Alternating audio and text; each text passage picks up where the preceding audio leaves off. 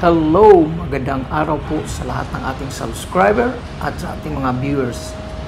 Ito po ay isang project ko na gagawa ako ng panibagong tubo dahil itong tubo na yan ay hindi ko pwedeng tanggalin sa ngayon dahil umaandar yung makina at ang dumadaan dyan ay napakainit na tubig.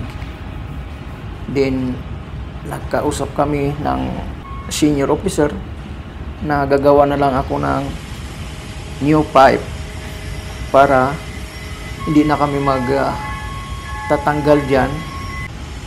At uh, pagkatapos na huminto yung makina saka namin palitan sa ginawa kong bago. So ngayon ituturo ko sa inyo kung paano yan gagawin at paano ko susukatan. Ngayon tingnan nyo mabuti kung paano ko susukatan. Dahil itong tubo na to ay mayroon siyang 45 degrees. Sa akin lang tong tingin na 45 pero malalaman natin mamaya at isusukatan natin ng degrees caliper. Kasi minsan kasi ang mata natin hindi natin matsansya kung ano ba talaga ang sukat niyan. So malalaman natin ngayon sa pagsukat natin ng degrees caliper kung tama ba yung hula ko. So, tara na at uh, susukatan natin tong tubo na to. Sa pamagitan nito ay ito yung tinatawag na outside caliper. Ito ay panukat sa outside diameter ng isang tubo at ito rin ang sinusukat sa tinatawag na PCD or pitch center diameter tsaka yung sa outside diameter of the plants. So, ayan na, sinukat ko na kung magkaparehas ba yung taas at saka sa baba. Dahil minsan ang tub ang pipe hindi magkaparehas, mayroong iba ang sukat na plants sa baba at sa taas. Ngayon, nasusukatan ko na at may sukat na 165 mm ang PCD or flange center diameter at mayroong 200 mm naman doon sa flange outside diameter. So susulat natin dito para hindi natin malimutan ang PCD ay 165 mm. Then ang flange naman ay may sukat na 200 mm. So, susulatin natin dito kung saan nakaposisyon yung plants, doon natin isusukat ito. Ito yung nasa taas. At ngayon, kukunan natin yung center ang tubo. Nakikita niyo yan sa taas, may dalawang bolt, may bolt hole yan. Diyan mo, sa pagitan ng dalawang bolt hole, yan ang pinakasentro mo. Ngayon, guguhitan mo siya. Pati rin dito sa baba. Sa pagitan ng dalawang bolt hole, yun ang pinakasentro. Ganyan. Pagkatapos niyan, guhitan mo siya. Yung intersection na yan, yun ang pinaka degrees ng isang tubo. Bawa ngayon, mayroon na akong nakikitang ano doon na intersection ngayon, susukatan ko na ngayon yan kung ilan ba ang pinaka degrees niyan. Kasi ang hula ko dyan ay nasa 45 degrees. Pero hindi ko pa sure dahil di ko pa nasukatan ng degrees caliper. At ngayon, isusulat ko na dito yung mga detalye sa tubo na to. Pagkatapos kong nakuna ng sentro ang isang tubo, ay susukatan ko mula dun sa taas hanggang dun sa intersection. Diyan sa pagsagit pinakagitna ng degrees o elbow. So, yun ang pinaka sukat niya. Sukat niya mula sa baba sa taas. Ngayon, ganun din ang gagawin mo dito sa sa baba na plansa. Ayan ah, sinusukat ko na. Yan, sinusukat ko na dyan kung ilan ang ilan ang diagonal. Ito extra extra lang ito. Extra measurement lang ito. Para sa akin lang to. Ang ginawa ko nito ay nagkaroon ako ng extra diagonal measurement upang hindi ako mawala sa sa ano niya sa posisyon. Ayan, kabilaan kong sinusukat kung magkaparehas ba. So, parehas naman, so wala tayong mga problema dyan. Kasi minsan kasi may tabingi na plansa, pero ito, sigurado akong gawa to ng dry dock dahil ano siya, ah, eskulado. Ito na yung drawing ko at gagawin na natin tong tubo na to at magkakating tayo ng tubo sa stock room or ang stock room namin ng mga tubo dito ay nasa steering gear. So ito yung sinasabi ko na degrees caliper. Dito natin makikita kung tama ba ang degrees na yan sa pamagitan nito. Doon, susukat natin doon. Ngayon, itatapat mo lang yan sa intersection niya. Yan, itatapat mo kung ano ba talaga ang sukat. Kamukha niya, no? Gi, tinatapat ko na siya. At ngayon, nakikita ko na kung ilan ang nasukat ko. At ito'y nakikita ko sa pagsukat ko ay mayroon siyang sukat na 45 degrees ang angle ng elbow. So mayroon ka ng idea kung ano ang sukat talaga nito.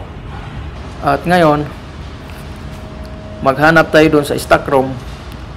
Yun, papakita ko sa inyo, yan ang nasukat ko, 45 degrees siya. Papag, yan o, pagitan ng 40 at saka 50.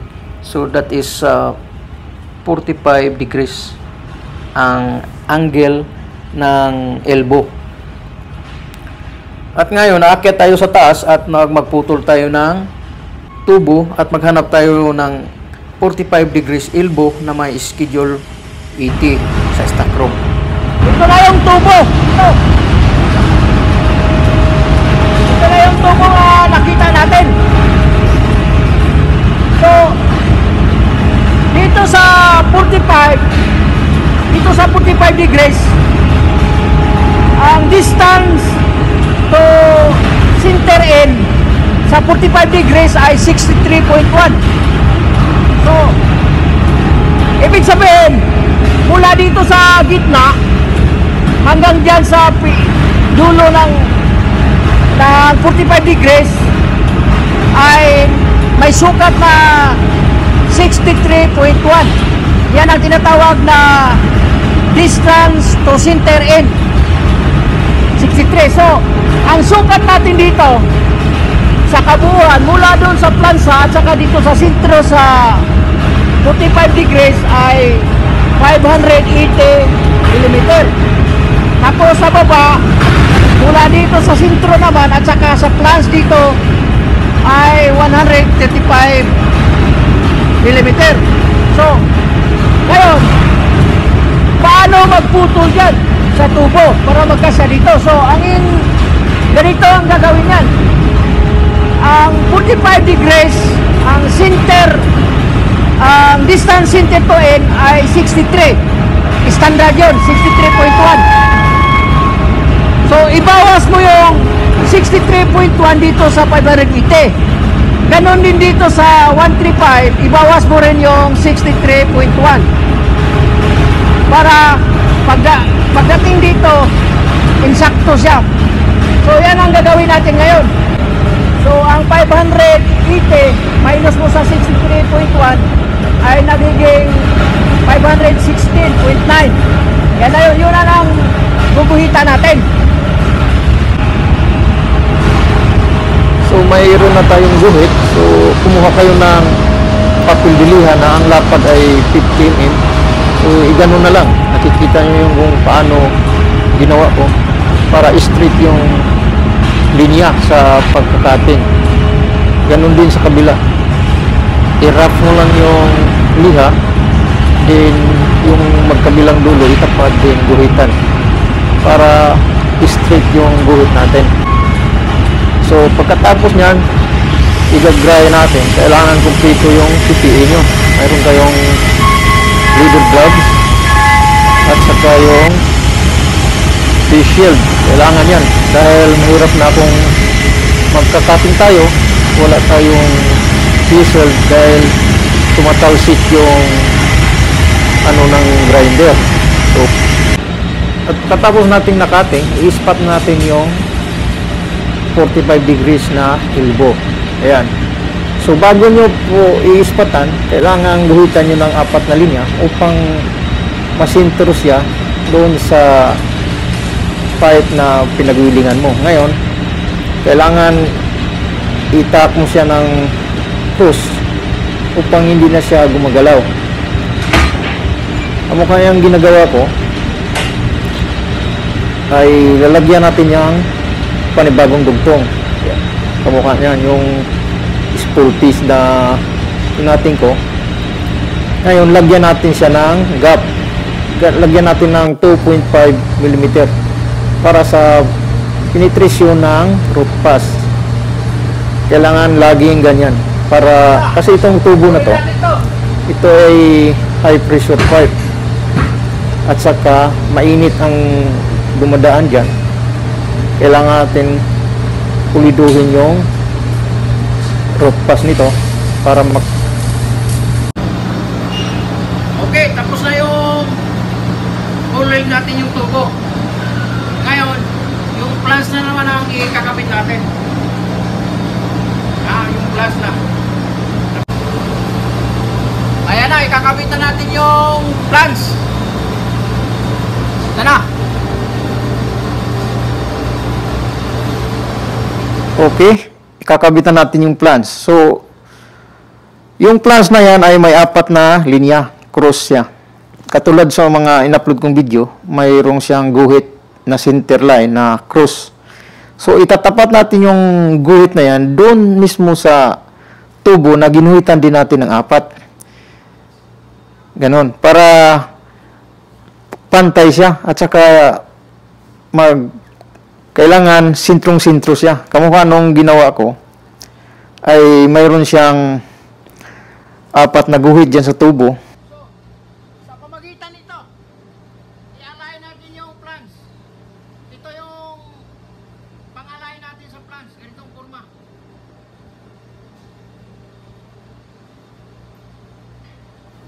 So, sa pamagitan ng pipe plans angle, ay ma-align natin yung plansa. So, kung saan man yung ah, sumasayad, ay pupukin natin upang magpantay sila. Kailangan magpantay sila, baba at saka taas. Ngayon, pag nagpantay na sila sa baba at taas, ay na-align na yung plans na yon. So, i-spatan mo ngayon siya at ah, para hindi na siya magbabago. Kasi kailangang ispatan mo to siya dahil mahirap na dahil magpupukpok ka naman sa kabila nito ay magbabago yan pag hindi mo ma-spot weld. Ngayon, pagkatapos nito ay ipupuglid ko na to at medyo mababa tong puglid na to kaya medyo ikakat ko dito yung video at ipapakita ko na sa inyo pag natapos na. Ayun, natapos na natin ang pagpupulid at napinturahan ko na yung loob. Yung nasa gitna na yon na branch na maliit, dyan natin ikukunik yung inlet ng discharge ng dosing pump para i-inject niya papuntang auxiliary boiler at saka yung sa gas boiler. At ito na ay nababa na natin yung tubo at dandahanin na natin yung tanggalin itong luma, lumang tubo. At ngayon, sinasara pa namin yung mga barbula na galing sa hot wheel at saka yung discharge niya papuntang boiler at saka sa gas boiler. Dahil medyo marami-raming tubig to ang laman nito. So ayan, ito na yung ginawa natin. Yan, ang ganito ang forma niyan pag ay naikabit na. Yan, ito yung papalitan natin, yung tinuturo ko. Yan ang tatanggalin natin. At ito naman ang ilalagay natin dyan. Kaya kamukha ng sinasabi ko, gumagawa na lang ako ng bago dahil para ang trabaho ay mapabilis. Gawa nung itong tubo na to ay mayroon siyang laman na tubig na mainit. Ngayon, dandahanin ko ng uh, islap tong mga bolt dito na walong piraso. Titirahan natin ang apat. Tanggalin natin yung apat dito sa taas at saka sa baba. Ah, upang medyo mag maglis ang trabaho. Ngayon, pagkatapos na na natanggal natin yung apat na bolt sa taas at apat sa baba, ay dandahan tayo mag-islak ng dalawang magkatapat na bolt. Dahil kung kamukha niyan, nakikita nyo yan, napakainit yan. Oh, nag ah, inislak ko na yung dalawang bolt, ito yung lumabas. Napakainit na tubig ang lumabas dyan. Kaya kung ganito ang trabaho nyo, mag-iingat kayo sa tubig na yan. Kaya ang ginagawa ko, kumuha ko ng welding gloves. Yun ang ginawa kong gloves upang iya pumapasok. At ito na yung nata- natanggalan namin. Ito na yung lumang tubo. Yan. Yan ang lumang tubo. At naikabit na namin yung bago. At saka na-install na namin ito yung sinasabi ko na dosing pump. Na- na-install na namin at ay gumagana na ngayon. Nag-inject na siya ng chemical para dun sa boiler. Yung chemical na to ay nagkukontrol sa alkalinity sa tubig ng boiler para hindi kalawangin yung mga tubes dun sa taas. Siyempre pag ang tubig medyo maalat siya may acid acidic siya so magkaroon ng problema ang tubo. Kaya minsan yung mga boiler natin ay hindi na lagyan ng chemicals katulad ng ganitong dosing dosing pump na dyan ilalagay yung chemical para i-inject niya doon sa feed pump discharge line papuntang boiler drums at saka sa economizer. At ngayon, tapos na tayo sa tubo nito at uh, completion na tayo. Job well done ha, ang nangyayari. So wala ang nakikitang problema. Insakto lahat, pati butas, lahat ng bolt hole ay tumatama.